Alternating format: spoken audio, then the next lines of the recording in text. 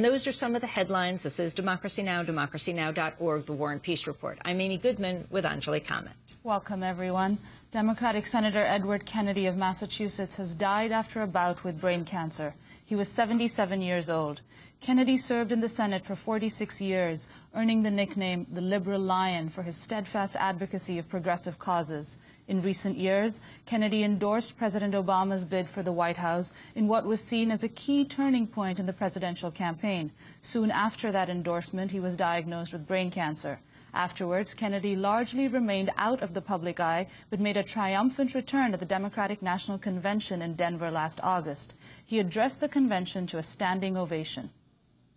We will break the old gridlock and guarantee that every American, north, south, east, west, young, old, will have decent, quality health care as a fundamental right and not a privilege.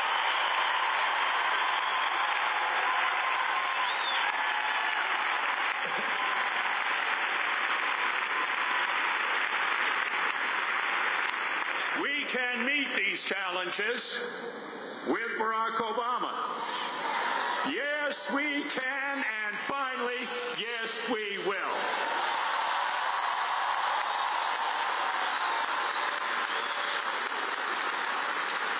Barack Obama will close the book on the old politics of race, gender, and group against group, straight against gay.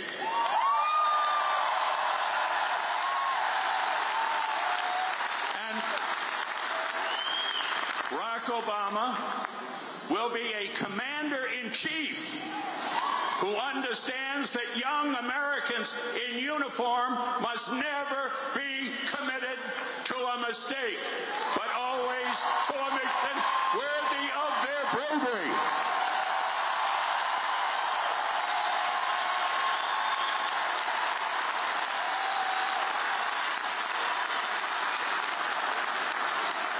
Are told that Barack Obama believes too much in an America of high principle and bold endeavor. But when John Kennedy thought of going to the moon, he didn't say it's too far to get there. We shouldn't even try. Our people answered his call rose to the challenge. And today, an American flag still marks the surface of the moon.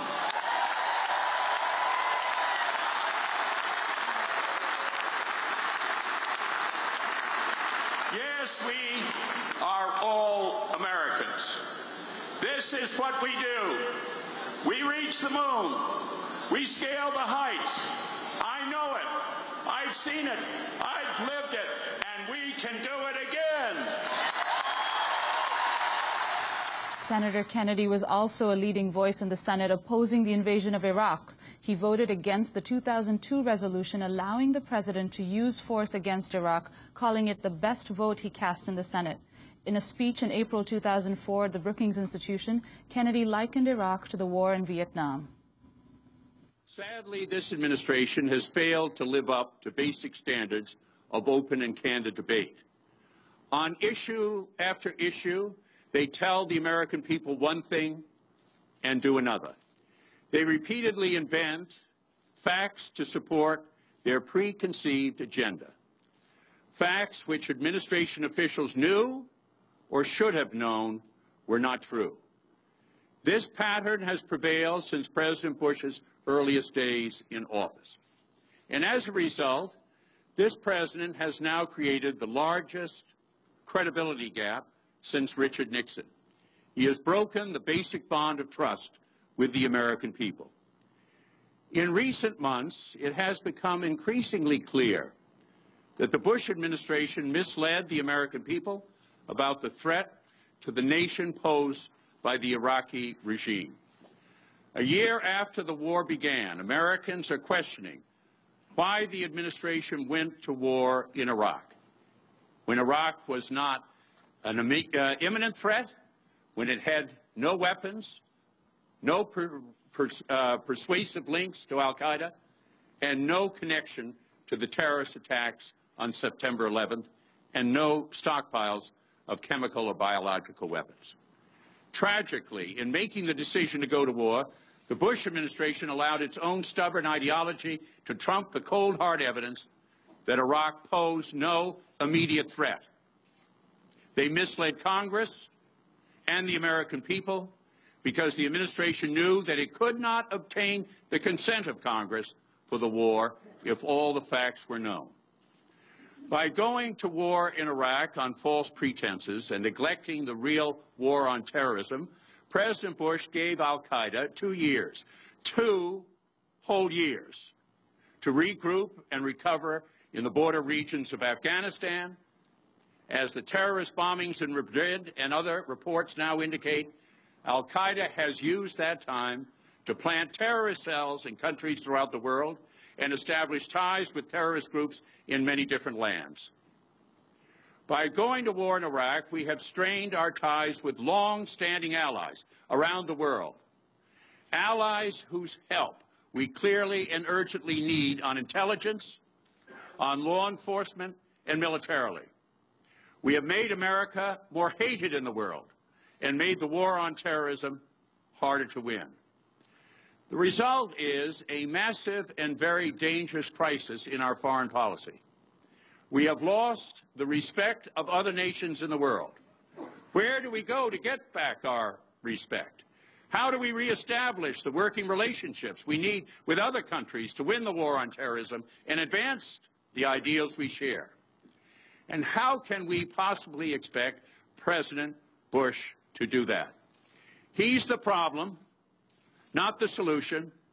Iraq is George Bush's Vietnam, and this country needs a new president. Senator Ted Kennedy was also an ardent supporter of civil rights. During the confirmation hearings of Chief Justice John Roberts in September 2005, Kennedy talked about Hurricane Katrina in his opening statement and how the disaster showed that poverty and racial injustice still permeate American society.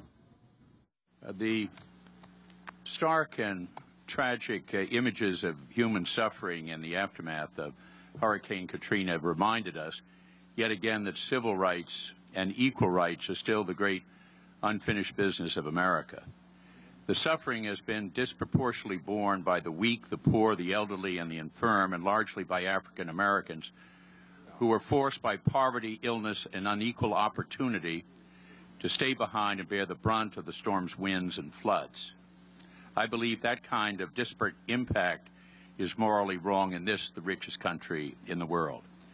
One question we must consider today is how we can take action to unify our nation, heal racial division, end poverty, and give real-life meaning to the constitutional mandate that there be equal protection under law.